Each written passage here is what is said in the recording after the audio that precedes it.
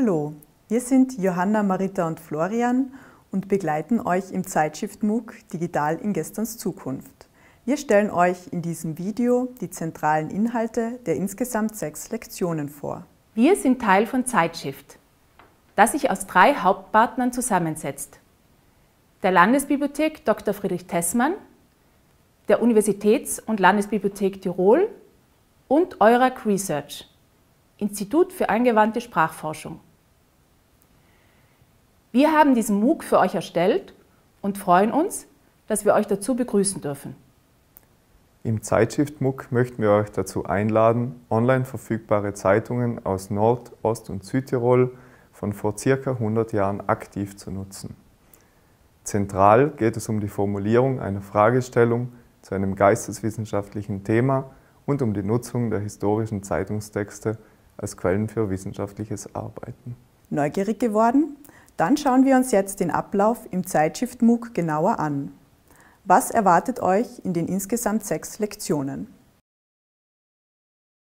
Lektion 1 bietet eine allgemeine Einführung in das Thema Digitalisierung von Zeitungen und gibt einen Überblick zum MOOC und zum Projekt Zeitshift.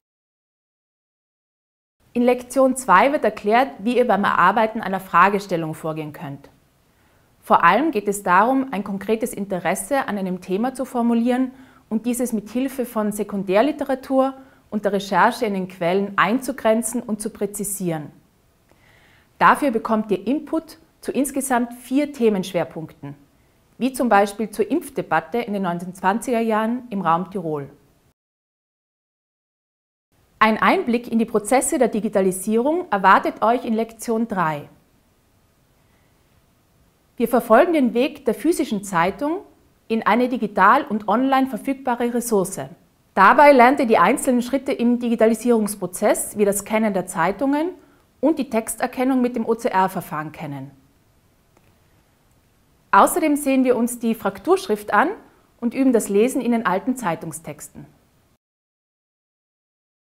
Zur Recherche in den Zeitungstexten schauen wir uns in Lektion 4 die Navigation in den Webportalen der Universitäts- und Landesbibliothek Tirol und der Landesbibliothek Dr. Friedrich Tessmann an. Hier lernt ihr, wie ihr in den Zeitungen nach relevanten Begriffen sucht und wie ihr aus den Zeitungstexten zitieren könnt.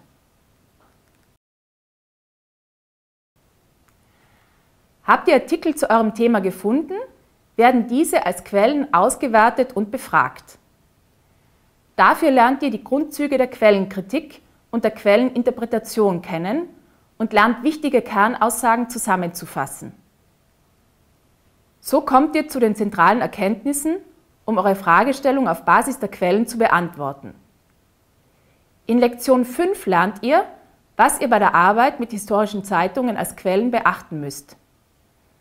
Außerdem sehen wir uns an, wie ihr die Recherche strukturieren, Erkenntnisse herausfiltern und die Ergebnisse der Recherche zusammenfassen könnt.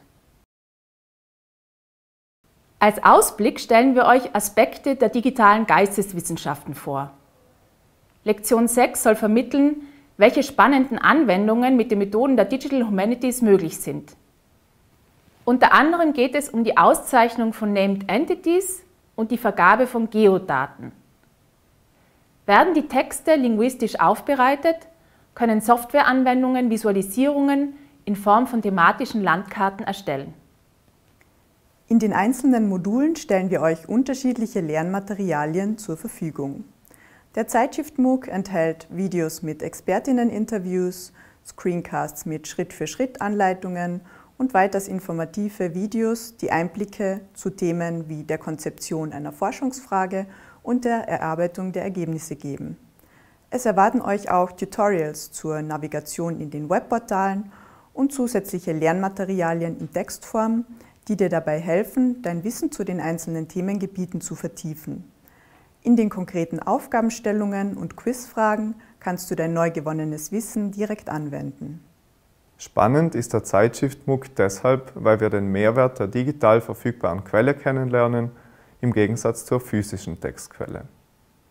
Wir verfolgen den Weg der physischen Zeitungstexte in maschinell durchsuchbare digitale Ressourcen und erfahren dabei die Vorteile der Digitalisierung. Wir sehen, wo uns automatisierte Prozesse wie die Volltextsuche in digital erfassten Texten helfen, unsere Recherche differenzierter und zielgerichteter durchzuführen. Und wir lernen weiterführende Methoden in den digitalen Geisteswissenschaften kennen, die über die reine Durchsuchbarkeit der Texte hinausgehen. So geht es auch darum, wie uns die computergestützte Abfrage der digitalisierten Zeitungen Möglichkeiten von Visualisierungen und Ähnliches bietet. Dran geblieben? Dann folgt jetzt ein Interview mit Johannes Andresen, dem Leiter des Zeitschriftprojekts. Hier erfährst du mehr darüber, warum wir uns mit Zeitungen beschäftigen und was diese historische Quelle so besonders macht.